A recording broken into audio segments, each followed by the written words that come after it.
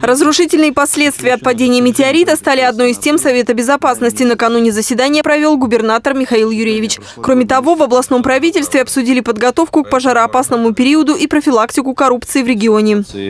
Получили повреждения у нас 673 образовательных учреждений, 292 учреждения здравоохранения, 28 учреждений социальной защиты, 98 культуры, 41 физкультуры и спорта.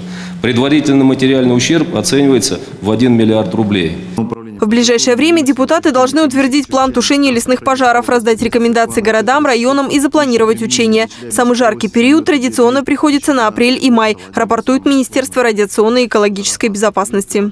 Противопожарная служба Челябинской области имеет 50 пожарных подразделений, которые осуществляют деятельность по тушению пожаров на 28% территории Челябинской области в населенных пунктах.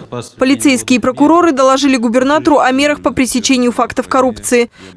По итогам работы в 2012 году прокурорами в указанной сфере законодательства выявлено 107 нарушений, имеющих коррупционную направленность.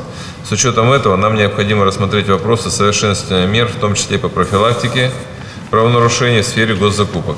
В регионе распределение бюджетных средств постоянно мониторят. Все муниципальные госрасходы открыто публикуют на сайте правительства и озвучиваются в СМИ. Несколько раз